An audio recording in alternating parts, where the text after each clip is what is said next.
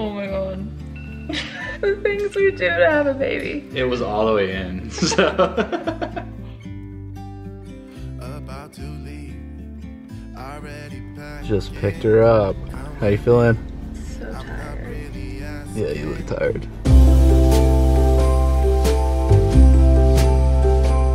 Oh my gosh, you guys, our egg retrieval is Wednesday. I cannot believe we've made it. Like, I can't believe we've made it to this next step. I'm like slightly freaking out. I feel so overwhelmingly like excited and scared and nervous all at the same time right now, but I wanted to pick up the camera and just start vlogging because I want I want to remember this. I want to remember how I'm feeling in these moments. So anyways, let me just give you guys like a quick little update. So we had our last ultrasound this morning and this was either going to be a really good appointment or we were going to cancel our cycle. So obviously it went well. We've had so many ups and downs throughout this entire um, 12 days of stem stimulation medication that I've been on. It's been a journey. It's been a freaking journey. I'm not going to get into detail, but basically I had a dominant follicle and they were worried my other ones weren't going to grow and there was a really high chance we were going to have to cancel our cycle and start over. But everything worked out and my other follicles grew. I still have a monster follicle that is massive, like measuring at like 30 millimeters. You guys, it's huge. Like it's really big. So anyways, this morning my doctor gave us the go ahead. We are doing the trigger shot today and we will have our egg retrieval 36 hours from the, the time we do the trigger shot. So it will be on Wednesday. I'm waiting for a phone call from my doctor to tell us exactly like what time we need to do the trigger shot. This will be the butt shot, the shot that goes in the butt. I'm just gonna go ahead and start this vlog over this like egg retrieval process and I will take you guys along with the next few days of like what we're doing and what's going on and how our um, like how everything goes. I got a little bit of bad news this morning, but I don't know if it's bad news. It's just like a potential problem. He was really looking at my left ovary, which actually produced one, maybe two follicles, which is crazy because it's in failure. So we might have an opportunity there. However, I have an artery that is right where he'd have to insert the catheter into my ovary. So he says that might be tricky and he might not be able to actually have access to my left ovary. If he can though, we might get an extra egg or two out of it, but we will see. We're expecting to get four to five eggs for my retrieval, which in IVF is not a great number, but for somebody who has diminished ovarian reserve like I do, it's pretty much expected. And just because we are able to retrieve four to five eggs doesn't mean we'll have four to five embryos. We really didn't think we were gonna be doing an egg retrieval this week, so it's a huge win for us, a huge, huge win. But yes, that is where we're at right now. Very excited to take you guys along with these next couple of days and let's hope, let's hope we get some good eggs at the end of this. It's trigger shot time. We just woke up at midnight.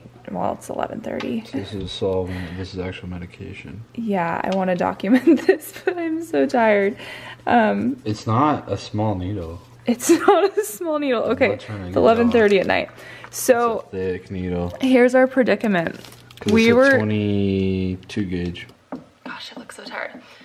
We were supposed to take Pregnyl, which is our trigger shot. We were supposed to take it um, Let me wash my hands. subcutaneously. and our doctor told us today, they were like, actually, we'd really like you to take it intramuscular. And we don't have the right needle to take it intramuscular, but they were like, oh, it's fine. You can just use the, the, what is this? The 22 gauge, one and a half inch needle. We should. 25, right? We should have a 20. smaller. Yeah, we should have a 25. Um, so this is the one that you're supposed to use to like mix up everything and not necessarily give yourself the injection, but they were like, it's fine, you can just use that one. So anyways, we are giving ourselves this trigger shot with the wrong gauge needle, but it is what it is. So this one goes right it's Basically a straw. it's basically a straw. I'm so scared. I'm not gonna lie. I'm so excited we're at this point, but I'm really terrified of this Yeah. um, of this shot. Um, and it goes right in like the butt muscle. So, yay. Are we doing left side? Are we doing right side? It's your call. It's your like butt. left side. I'm gonna butt. start icing my butt. Oh we my god. stop. You're stressing about me out about this needle. okay. Um, we have like a million alarms going off too, so we don't That's forget. all you. You put like 800 alarms like you, we're gonna miss it. Hold on, show them this needle. That's going to my butt. Compared to Ooh. The, We've been the using like insulin half inch syringes. insulin syringe needles. which are like, Show them the difference. like tiny little. Oh my god. the things we do to have a baby. We have a million alarms on so we don't we don't forget, but we're set for midnight. The shot is complete right here. So now we're gonna watch the video on how to give the injection just to refresh refresh our minds and then we'll actually administer the injection at midnight. It's important to do it exactly at the time they tell you because the, um, uh, I can't even talk, I'm so tired. Egg retrieval is exactly 36 hours from the time that you do the trigger injection. So it's very important that you, like, everything aligns. I'm so scared. Why am I so scared about this? Alright. Okay, Okay. it's time. Just give me a countdown. Alright. One, two, three.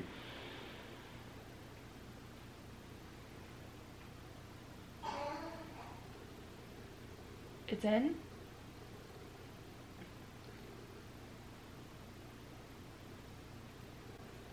I don't even feel it.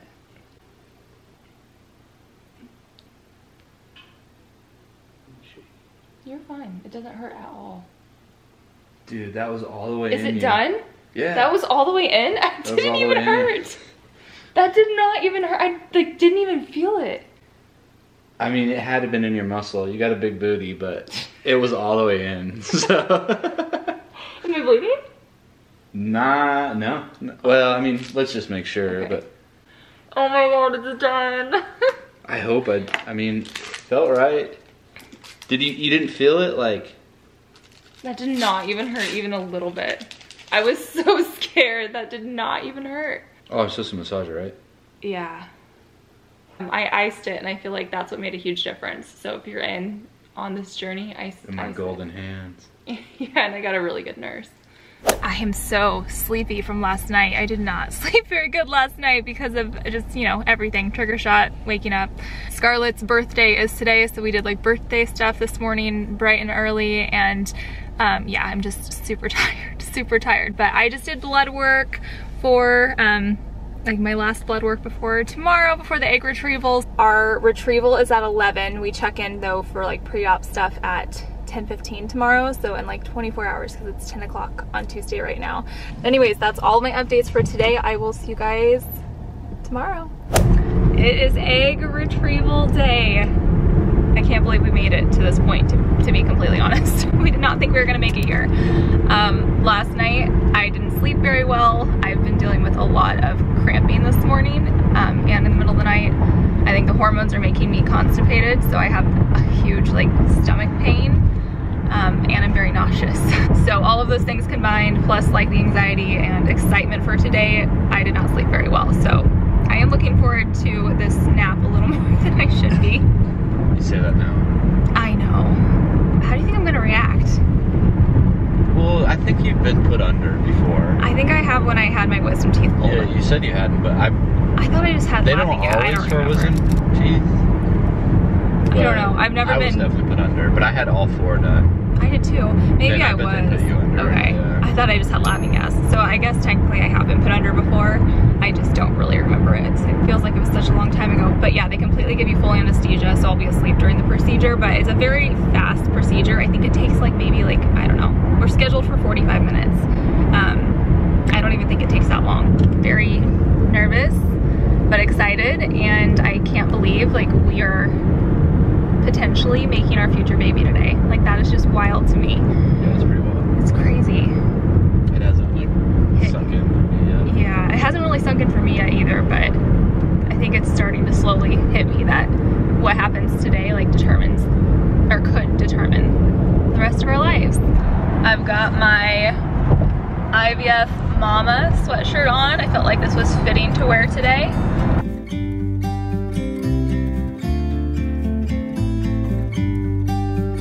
about to leave. Already packing, come with me.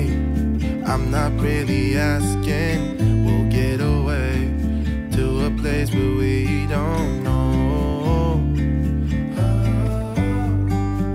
About to see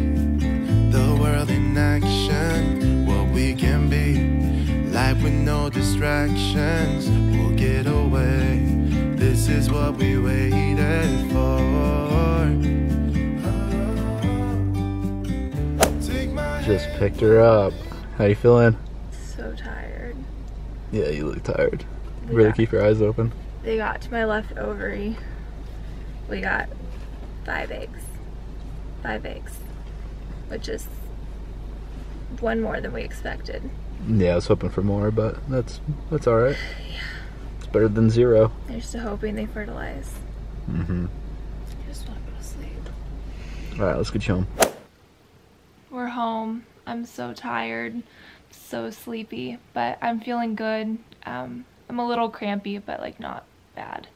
Not bad at all. So, five eggs. Ty and I just realized we uh, took our trigger shot on Scarlett's fifth birthday and we retrieved five eggs. So I feel like that's good luck. But um, the procedure was really fast. I was out, um, obviously on anesthesia, so it went fast for me. But um, we were, we got there at 10:15, and we were out of there at 11:45. So definitely fast. But I'm gonna get some sleep. I'm gonna lay down, and I'll talk to you guys later.